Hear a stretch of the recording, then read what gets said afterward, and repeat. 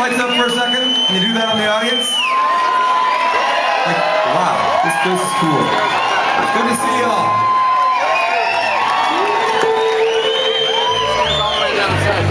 The Thunderdome or something. It is. It's the Buffalo Dome. Eternal Fatalist, yo.